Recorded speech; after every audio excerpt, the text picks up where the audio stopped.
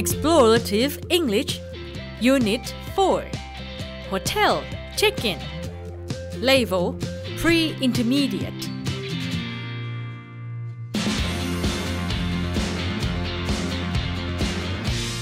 เมื่อทุกคนต้องออกสำรวจโลกกว้าง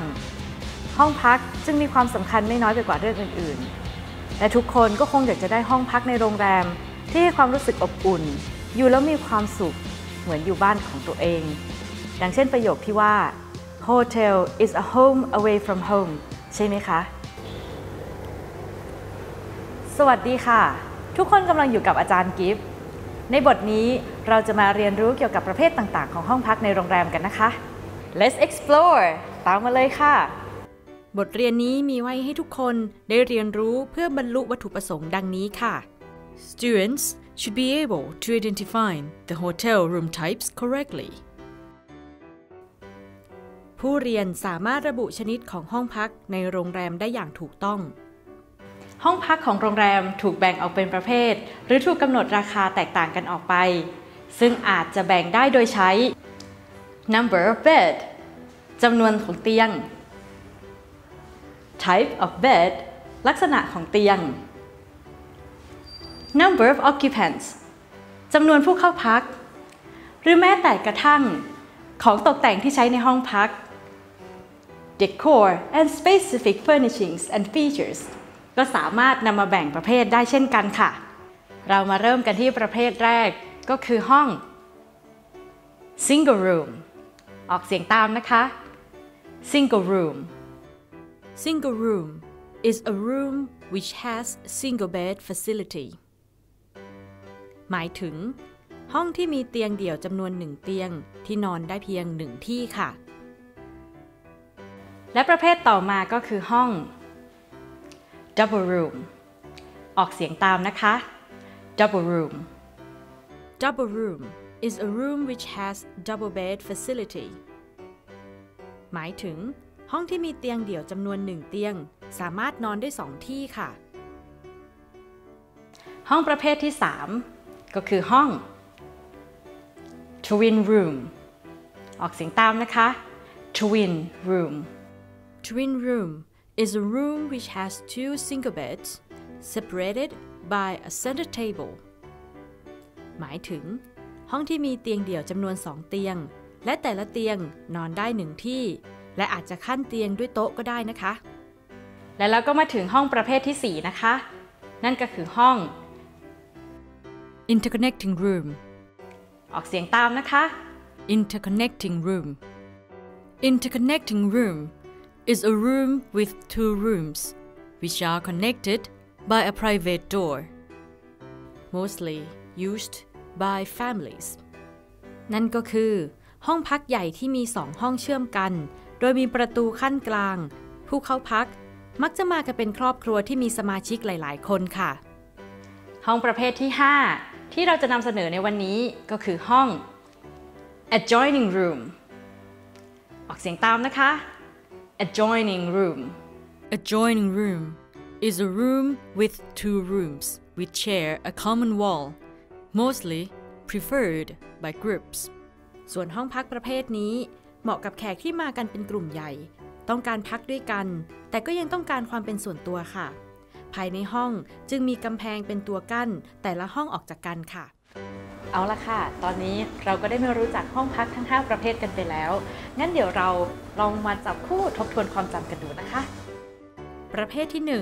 1 single room เตียงเดี่ยว นอนคนเดียว ประเภทที่ 2 double room เตียงเดี่ยว นอนสองคน ประเภทที่ 3 twin room สองเตียง แต่ละเตียงนอนเดี่ยว ประเภทที่ 4 interconnecting room สองห้องมีประตูเชื่อม เหมาะกับไปเป็นครอบครัว ประเภทที่ 5 adjoining room สองห้องคนละประตู เหมาะไปกับเพื่อนฝูง เก่งมากเลยค่ะ งั้นเดี๋ยวทุกคนลองมาทายประเภทของห้องพัก จากคำอธิบายที่อาจารย์กิฟต์กำลังจะพูดให้ฟังต่อไปนี้ อาจารย์ให้เวลาข้อละ 5 วินาทีเท่านั้นนะคะ งั้นเดี๋ยวเรามาเริ่มกันเลย A room with two rooms which are connected by a private door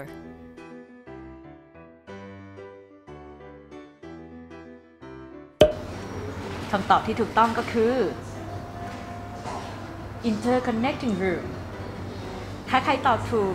ก็ give yourself a big hand เรามาฟังลักษณะข้อต่อไปให้ดี ๆ นะคะ It is a room which has single bed facility.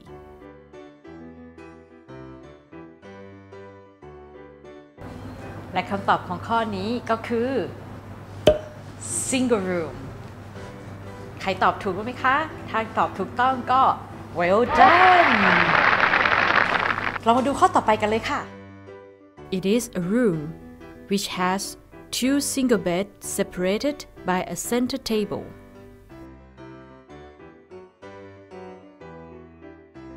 และคำตอบของข้อนี้ก็คือ twin room มีใครตอบถูกไหมคะ ถ้าตอบถูกก็ congratulations ดี๋ยวเรามาต่อข้อต่อไปกันเลยนะคะ A room with two rooms which share a common wall, mostly preferred by groups.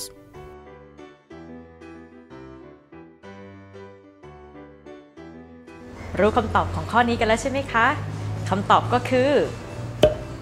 adjoining room มีใครตอบถูกบ้างไหมเอ่ย ถ้าตอบถูกแล้วแล้วก็ awesome ค่ะ ก่อนที่เราจะไปเรียนรู้ห้องพักประเภทอื่น ๆ กันต่อนะคะ ขอให้ทุกคนลองสังเกต 2คำนี้ให้ดีค่ะ นั่นก็คือ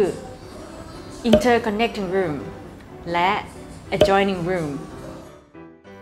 คำว่า room เป็นคำนาม หรือที่ในภาษาอังกฤษเรียกว่า noun ส่วนคำที่วางอยู่หน้าคำนามทำหน้าที่ขยายคำนาม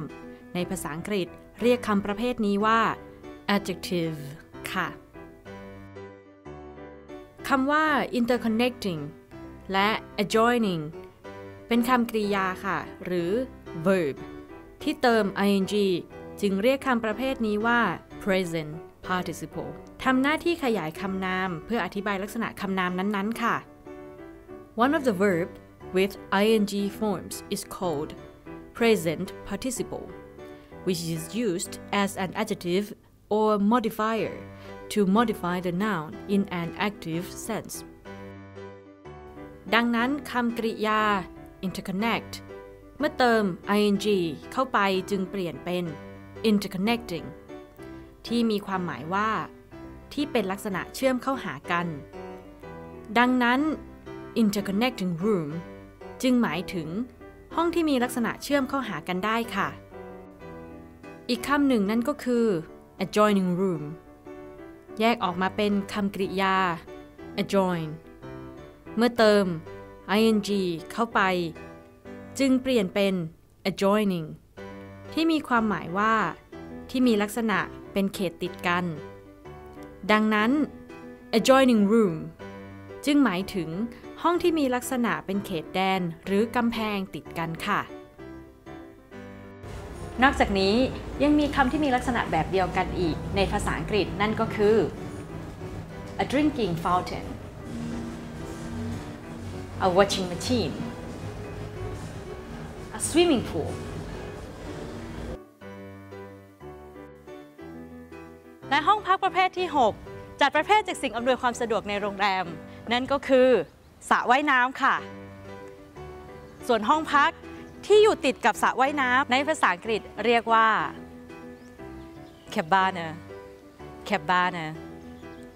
ฟังดูหรูหราน่าพักดีใช่ไหมคะ ค่ะ และห้องที่คนไทยเรียกกันว่าห้องสูตรนั้น ในภาษาอังกฤษอ่านได้สองแบบค่ะ นั่นก็คือ suit room หรือ suite room ออกเสียงตามนะคะ suit suite suite room is a room which comprises of two or more bedrooms a living room and a dining area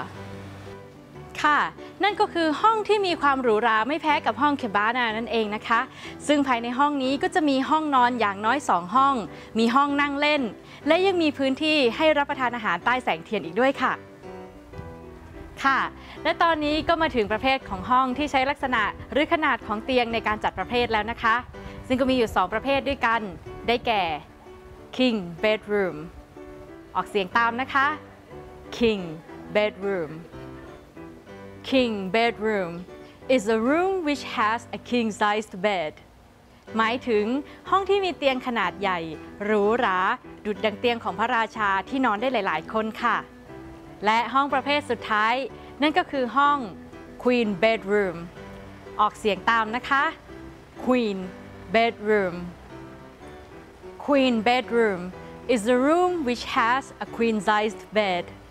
นั่นหมายถึงห้องที่มีเตียงขนาดใหญ่หรูหราดุดดังเตียงของราชินี สามารถนอนได้หลาย ๆ คน แต่ว่าขนาดของเตียงจะมีขนาดเล็กกว่าเตียงที่อยู่ในห้อง king bedroom นะคะ จะเห็นได้ว่า เวลาอาจารย์อธิบายประเภทห้องต่างๆ นั้น อาจารย์จะใช้โครงสร้างของประโยคดังต่อไปนี้ค่ะ มีประธาน กริยา แล้วก็มีคำนาม ตามด้วย which และตามด้วยกริยาอีกครั้งหนึ่งค่ะ ดังเช่นในประโยคที่ว่า ข้อสังเกตคือคำกริยาที่อยู่หลัง which จะผันไปตามรูปพจน์ของคำนาม นั่นหมายความว่า หากคำนามหน้า which เป็นเอกพจน์ เหมือนในตัวอย่าง A กริยาก็ต้องอยู่ในรูปเอกพจน์ด้วยเช่นกัน ด้วยการเติม s หรือ s